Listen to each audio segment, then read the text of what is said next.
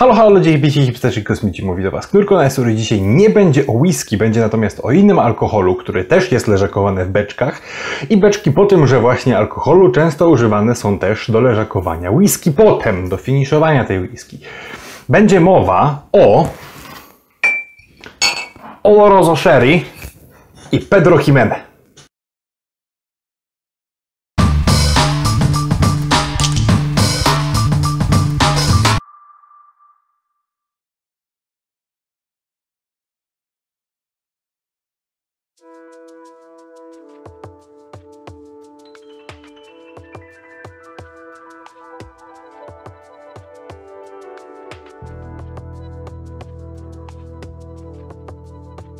Oloroso Sherry, 12-letni. Niestety blend of Oloroso Sherry, co do końca nie wiem z czym się wiąże, ponieważ wielkim znawcą win nie jestem i prawdopodobnie nigdy nie będę, chociaż może się kiedyś tym tematem dużo bardziej zainteresuję, właśnie z powodu takich win jak to i to drugie.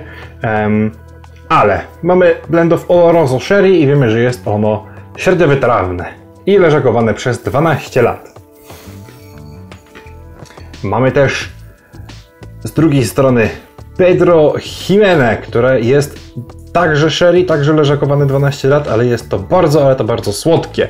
I one mogą, one mogą już nam trochę powiedzieć same z siebie na temat tego, co będziemy tutaj czuć. To Pedro Jimenez jest wyprodukowane przez e, Williams Humbert z Jerez de la Frontera w Hiszpanii, natomiast Oloroso jest wyprodukowane przez Emilio Lustau też z Jerez de la Frontera. Hiszpania i region Jerez de la Frontera będzie się tutaj w tym temacie win wzmacnianych przewijał dosyć, dosyć często. No właśnie, mówię tutaj wina wzmacniane. E, I jest to takie pojęcie, które może być dosyć e, takie troszeczkę konfudujące, ponieważ co znaczy wina wzmacniane? Wina wzmacniane, czyli innymi słowy wina likierowe, czyli wina, które podczas swojego dojrzewania doznały kontaktu z alkoholem, który jest dużo mocniejszy procentowo, żeby tę fermentację, którą wino przechodzi, przerwać, żeby wino nie fermentowało dłużej. I takich win mamy bardzo, ale to bardzo dużo różnych rodzajów, ponieważ mamy Maderę, mamy Malagę, mamy Marsale, mamy Porto i mamy też właśnie Sherry. Wina te zamykają się mniej więcej od 15 do 22%, więc są to wina dużo mocniejsze niż te wina takie normalne, czerwone, białe, e, z którymi się zazwyczaj spotykamy. Więc mamy mamy w tym, w tym odcinku akurat będziemy mówili o kilku typach wina sherry i ogólnie, ogólnie o winach sherry. Także sherry to są wina, które pochodzą z Andaluzji, e, z regionu, który nazywa się Jerez, albo też Jerez, albo Xeres. Jakkolwiek to pisać, ja się na wymowie po hiszpańsku za bardzo nie znam, wydaje mi się, że czyta się to Jerez po hiszpańsku, natomiast różne wariacje tej wymowy sprawiły, że używamy w tym momencie takiej zanglicyzowanej nazwy właśnie e, która, która brzmi właśnie Sherry. Nie mylić tego z Cherry, pisane przez CS um, ERRY, czyli, czyli wiśnia. To jest Sherry przez SH. Więc tak, w ogóle jaka jest cała historia tego, w jaki sposób to wino zostało, zaczynało, zaczynało być produkowane i dlaczego akurat taka nazwa, dlaczego, skąd to się wszystko wzięło. Także e, zaglądając do Wikipedii e, wiemy, że e, już, już tak wcześnie jak w 1100 roku przed naszą erą e, Fenicjanie, którzy podbili podbili te tereny, w których teraz jest Jerez, produkowali wino. E, od około VIII wieku naszej ery, e, już za, za, czasów, e, za czasów, kiedy to Maurowie, czyli Maurytańczycy podbili te, podbili te właśnie tereny, miasto nazywało się Sherish, przez SH, ER i SH, e, które czytało się po arabsku w jakiś tam, w jakiś tam inny sposób, natomiast przy, przybliżona nazwa to jest właśnie Sherish e, i, i taka, taka nazwa się potem przez jakiś czas przewijała i, do, i dzisiaj mamy, mamy jej ubryty, ubrytyjszczoną, uanglicyzowaną nazwę, um, uanglicyzowaną wersję właśnie w postaci słowa sherry. Um, Także mamy Maurów w VIII wieku naszej ery, potem w XIII wieku naszej ery mm, król Alfons X Modry, który był królem Kastylii, e, odbija te tereny i nazywa to miasto Jerez, już pisane przez X. I mamy dalej produkcję, produkcję win wzmocnionych właśnie, właśnie w tych terenach. Do tego stopnia, że w XVI wieku sherry zostało uznane za najdoskonalsze wino, które jest produkowane na świecie. Do tego przy, przyłożył swoje palce, powiedzmy, do popularności istnienia win sherry, czy w ogóle win wzmocnionych na świecie. Przyłożył tego swoje palce. Między innymi Krzysztof Kolumb, który na swoich statkach rozwoził też na nowy świat e, właśnie wina wzmocnione z, z Hiszpanii. E, przyłożył do tego też swoje palce Magellan, który tak jak wieść niesie, e, podczas pakowania, przygotowywania statków na wyprawy, większą uwagę przywodzi, większą uwagę poświęcał temu, żeby na statkach było wystarczająco dużo wina, niż żeby było na nich wystarczająco dużo broni na przykład. I także też i od zawsze, tak jakby od czasów istnienia Imperium Brytyjskiego w Wielkiej Brytanii wina wzmocnione były wyjątkowo popularne i przy okazji też, i przy okazji też e, Wielka Brytania była od zawsze takim no, bardzo dużym, ale o ile, o ile nie od zawsze największym w ogóle klientem i od, największym odbiorcą win wzmocnionych produkowanych w Hiszpanii. E, niestety, ale, e, niestety, ale w XVIII albo XIX wieku mamy, mamy epidemię takiego, takiego owada, które nazywa się e, phylloxer i jest to Phylloxera winiec po polsku, czyli taki gatunek mszycy, który, który niestety, ale zdziesiątkował populację winogron, które były hodowane w tamtym regionie. Potem zostały posadzone winogrona, które teoretycznie były bardziej odporne na, na, na tę mszycę, ale to się okazało, że też niespecjalnie specjalnie tak mocno, jak powinno być. Także e, region też przeżywał pewne problemy, jeżeli chodzi o produkcję wina, natomiast absolutnie w, w naszych czasach, w XXI wieku, e, produkcja wina wzmocnionego e, w regionie Jerez hula i, i, i świszczy że tak powiem. Także tak, w ogóle sama produkcja wina wzmocnionego, w tym wypadku, w tym wypadku właśnie sherry, działa w taki sposób, że Produkuje się tak jakby normalne wino i, i, w, i, i kiedy to, to, wino już jest gotowe do, tak jakby normalnie by było gotowe do zabutelkowania, jest ono oceniane i zostaje na beczce pod, do tego wina zostaje, zostaje poznaczy, postawione oznaczenie. I jeżeli to jest rzymska jedynka, to znaczy, że jest to wino jak najbardziej fantastycznej jakości, które już w tym momencie nadaje się do produkowania sherry fino, czyli tego uważanego za naj, najlepsze, najbardziej wytrawne, naj, naj, najznamienitsze powiedzmy e, e, wino sherry. Jeżeli jest to jedynka rzymska z kropką, znaczy, że jest to wino, które wyszło ciężkie i mocne i będzie się nadawało do produkcji na przykład oloroso. E, I przy jedynce będzie to produkowane w taki sposób, że dociągnie się do 15%, e, zmiesza się je z mocniejszym alkoholem, o czym będzie za chwilę, żeby przerwać, tą, prze, przerwać e, fermentację. Natomiast przy e, jedynce z kropką, czy przy oloroso e, dobije się do 17,5% i będzie się potem leżakowało razem z dodatkiem tlenu. Więc, e, więc, więc powstanie z tego trochę inne wino. Jeżeli, do, jeżeli takie wino dostanie w ocenie dwójkę rzymską, to musi ono poczekać jeszcze trochę dłużej, powiedzmy, żeby zostało ocenione, czy ono jednak pójdzie na jedynkę rzymską, czy na jedynkę z kropką. E, czyli czy na fino, czy na, e, czy na oloroso. Natomiast jeżeli dostanie takie wino trójkę na beczce, to znaczy, że jest to wino zupełnie nie nadające się do zabeczkowania, najgorszej teoretycznie jakości, ale będzie ono potem używane do destylowania. I takie, takie oto destylaty niekoniecznie z regionu Jerez, e, ale będą używane właśnie do produkcji, do produkcji, do, do produkcji tych win wzmocnionych jako ten alkohol przełamujący, przełamujący proces fermentacji. I tak, nazywać się to będzie w ogóle destylado i będzie dodawane e, w proporcji pół na pół, czyli jedna część wina, jedna część destylatu e, e, z wina. Zazwyczaj, jeżeli chodzi o wina oloroso, to będzie to, to będzie to destylado z regionu La Mancha. Mm, nie wiem na dobrą sprawę, dlaczego w taki sposób to funkcjonuje, ale tak to funkcjonuje. I potem te, te, to wino z dodatkiem, z dodatkiem tego destylatu będzie, będzie zmieszane i zabeczkowane w beczki od 600 do 700 litrów. I potem będzie sobie dalej, dalej dojrzewało w tych właśnie beczkach. Co ciekawe, te beczki są zrobione z dębu północnoamerykańskiego, ponieważ okazuje się, że dąb północnoamerykański ma dużo większe pory niż dąb francuski i dąb hiszpański, y, które są, no jest to po prostu dużo, lepsza, dużo lepszy dąb y, do leżakowania właśnie win. Natomiast jeżeli chcecie się dowiedzieć więcej w ogóle o beczkach, o dęb, typach dębu i tak dalej, to zapraszam do e, filmu na temat beczek, w którym, w którym jest to temat troszeczkę, troszeczkę bardziej obszernie omówiony.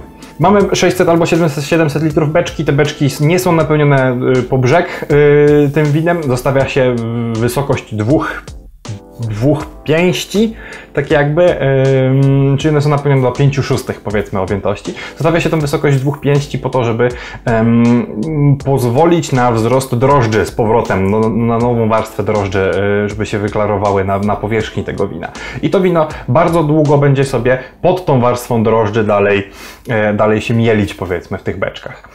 I tak, Oloroso będzie potem leżakowane w systemie, który nazywa się Solera. System Solera może być już znany z filmu na temat 15-letniego Glenfiddich, czy w ogóle na temat Glenfiddich, ponieważ 15-letni e, Glenfiddich też jest leżakowany w taki sposób trochę solerowy. Tutaj akurat zazwyczaj będą po prostu trzy rzędy beczek, i będzie tak, że lejemy alkohol do beczki, które są na, na, na, samej górze. On sobie przez jakiś czas w tych beczkach leżakuje. Potem część z tego alkoholu przelewamy do beczek, które są o jeden poziom niżej, natomiast dolewamy do góry beczki nowe, now, nowo powstałe, powstałe wino. Po jakimś czasie przelewamy z tych środkowych beczek do najniższych beczek wino i znowu dolewamy do góry i znowu dolewamy do, do, do środkowej warstwy i potem po iluś tam latach takiego przelewania przez siebie tych beczek, iluś latach leżakowania, ym, zabutelkowany faktycznie będzie ten alkohol, który jest z, z samego do, do dna, z tej, z tej warstwy beczek, która jest najniżej. Także w tym wypadku akurat tych dwóch win, które tutaj mam, będzie to minimum 12 lat.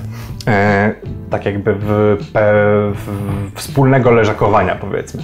I z racji, że y, w wielu typach wina wzmocnionego, w wielu typach olorozo akurat, będzie ta wierzchnia warstwa drożdży się wykształcać na, na wierzchu tego wina, to specjalna, y, będzie używana też specjalna aparatura do przelewania te, tego wina z beczek górnych do beczek trochę niżej, która będzie na tyle delikatnie to wino rozpraszać po powierzchni drożdży, że te, te drożdże nie będą zniszczone, nie będą wzburzone i nie będzie wzburzone też to, co jest wewnątrz, te, wewnątrz tej beczki e, w trakcie leżakowania. Więc tak, jeżeli chodzi w ogóle o Oloroso, to Oloroso oczywiście też nie jest, jedyn, jest tak jakby grupą nadrzędną typu win, powiedzmy.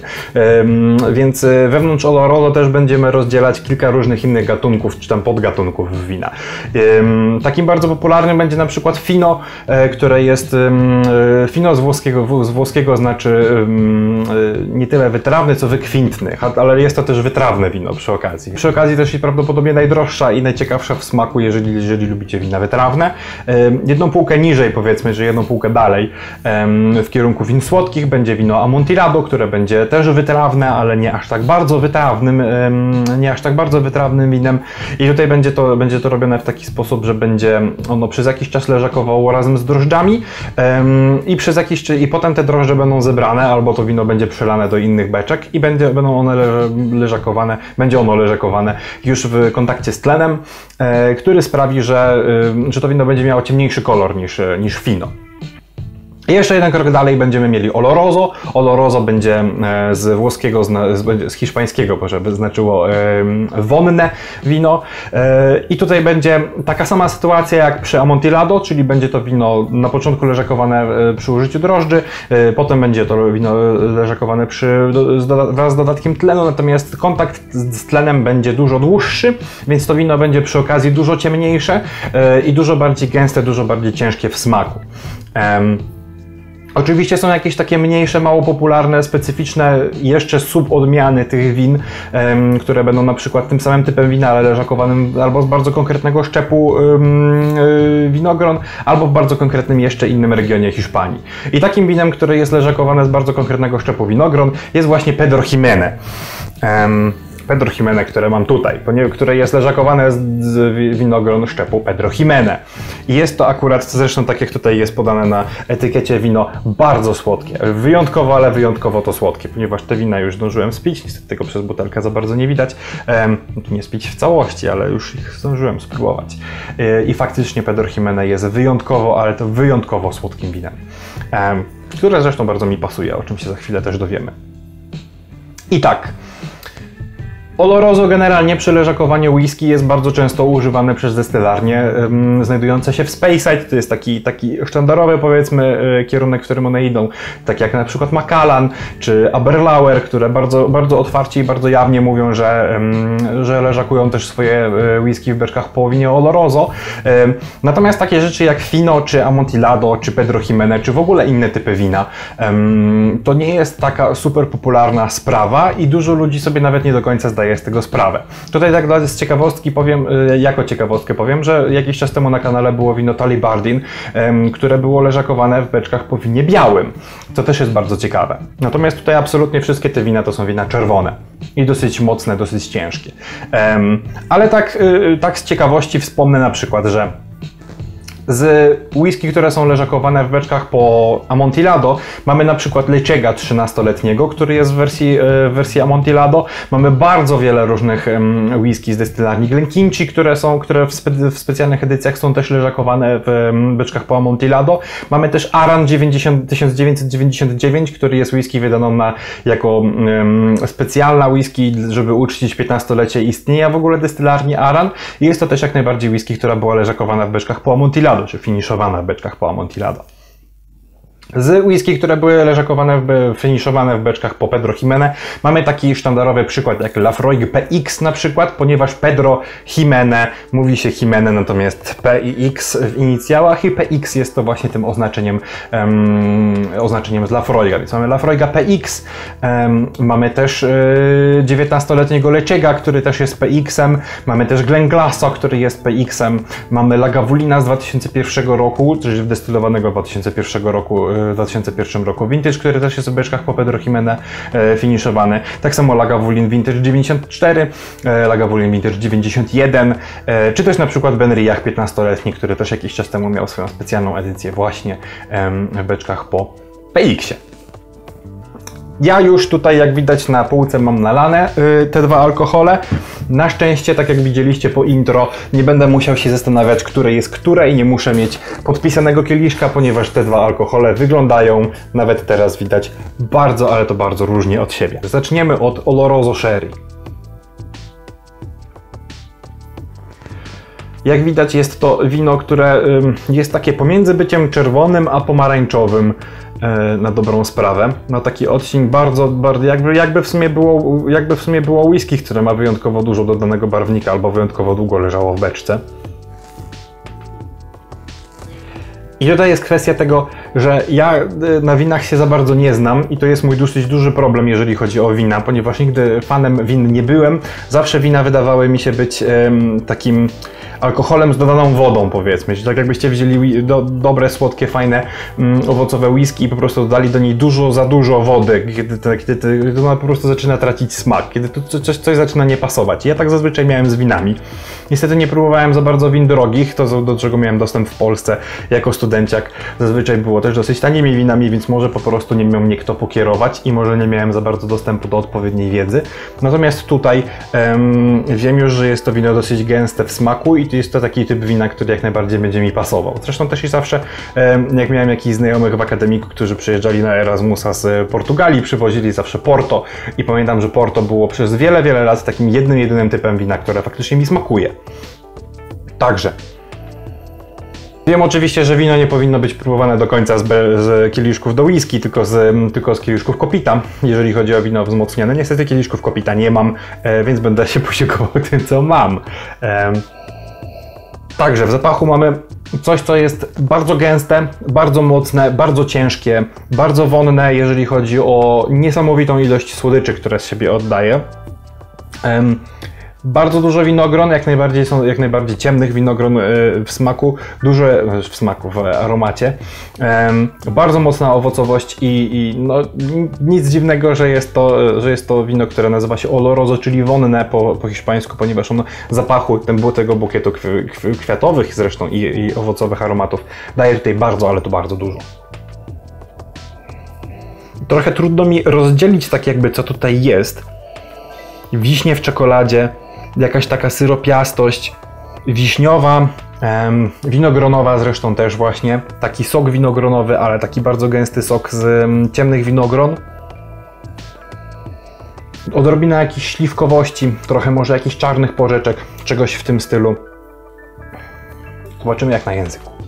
Nie jest ono jakoś specjalnie mocno mm, oleiste, nie jest jakoś specjalnie mocno zakle zaklejające mm, jamę ustną powiedzmy. Tak z ciekawości sprawdzę, jest to 20% alkoholu. Mm. I jak najbardziej natomiast jest to wino, które jest bardzo ciężkie w smaku i ma tego smaku bardzo dużo. Mm, spodziewałem się czegoś, co będzie trochę bardziej oblepiało jamę ustną. Natomiast jest ono w konsystencji bardziej jak takie właśnie czyste, klarowne wino. Dużo owoców, jak najbardziej nawet takich owoców z pestkami. Dużo wina, e, dużo, yy, dużo Dużo takich rzeczy w stylu czereśnie, wiśnie, mm, takich ciężkich smaków. Trochę jakiejś takiej delikatnej cierpkości, ponieważ nie jest to y, wino takie stricte słodkie. I trochę takiej wytrawności, która idzie może w kierunku aronii, mm, która idzie troszeczkę w kierunku takiej siarczanowości mimo wszystko. Ale jak najbardziej jest to wino, które w tym momencie em, dla mnie przoduje nad innymi winami, ponieważ czuć te smaki i czuć je dosyć gęsto, one dosyć mocno są wyczuwalne na, na języku i absolutnie nie można o tym winie powiedzieć, że jest to, e, że jest to coś, co, co smakuje jak alkohol, do którego dodano za dużo wody. Dużo, dużo gęstsze niż, em, niż normalne wina. Można powiedzieć, powiedzmy, konsystencją trochę jak miód pitny. Mm, nie tak bardzo jak ten miód pitny, który tutaj był ostatnio mm, w postaci likieru Stax Bread. Troszeczkę gęściej, troszeczkę bardziej w kierunku takich polskich miodów pitnych. Natomiast jeżeli chodzi o ilość smaku, to jest tutaj tego po prostu bardzo dużo. Trudno mi trochę jest to ubrać w słowa w tym momencie, natomiast porównując to do wszystkich innych win, które w życiu piłem, to jest to jedno, jedno absolutnie z lepszych. Aczkolwiek, aczkolwiek, mamy tutaj jeszcze jednego pretendenta, który jest zgoła inną zabawą, który jest zgoła inną bajką.